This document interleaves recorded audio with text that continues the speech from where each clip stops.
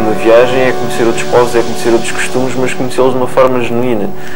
Uh, o turismo convencional como que uh, padroniza enfim, as ações, os locais que as pessoas devem visitar e conhecer e que isso limita bastante o conhecimento que a pessoa vai, vai, ter de um, de um povo. Está-se muito habituado a pensar numa cidade, mas há aldeias, há mesmo povoados e há mesmo zonas inóspitas que fazem parte desse país e, onde também se consegue descobrir uh, a vivência do, desse, desse povo.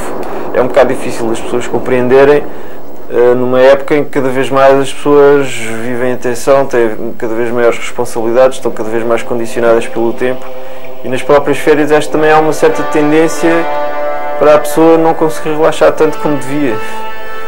As viagens que neste momento organizo envolvem um desafio.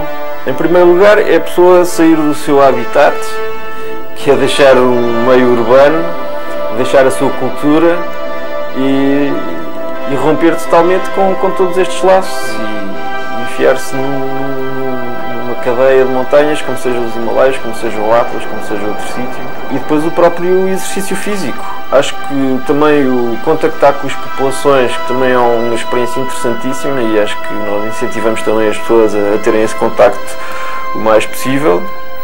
Por estas imagens, repare bem a dimensão destas montanhas e no contacto com o mundo fantástico da aventura. Uma dupla travessia entre o prazer e o perigo. Houve situações em que, em que havia perigo, perigo objetivo, como seja a queda de pedras, e aí é juntar o aspecto de estar a escalar a grande altitude com uma grande carga na, às costas, uh, quer dizer, transportar 15 a 20 kg a 7 mil metros é, é um esforço tremendo.